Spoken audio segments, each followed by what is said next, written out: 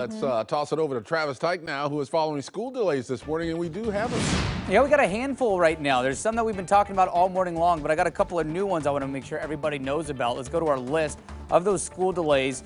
So again, if you've been with us, you've heard me talk about Gaston School District has been on a two-hour delay. There's no morning uh, preschool, and those bus routes are going to be on snow routes, both in the morning and in the evening in Gaston. In Vernonia, that school district is on a two-hour delay expected for class to start at 10 o'clock this morning.